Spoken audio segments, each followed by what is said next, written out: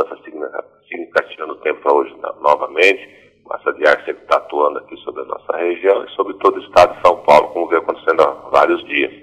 Máxima prevista para hoje na casa dos 28 graus, mínima registrada no campus da Bela Vista foi de 9,8, Carla.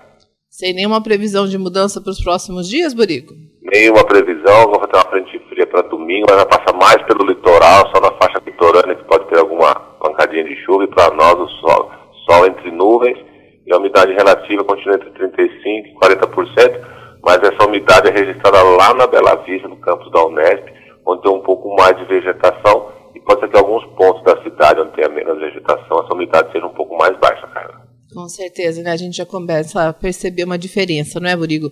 Aqui na, na área central, a gente tem aqui o jardim público, mas nos bairros que ficam aqui ao redor do centro, o pessoal já começa a se queixar dessa questão da, da qualidade do ar no período da tarde.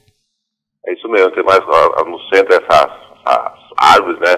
Ajuda bastante a umidade relativa. Como você falou, os bairros que não tem sofrem muito mais. Com certeza. Burigo, obrigado pelas informações. Tenha um bom dia, um bom trabalho. Um bom dia a todos, um bom trabalho, um abraço. Jornal está em tudo, porque a informação está em todo lugar.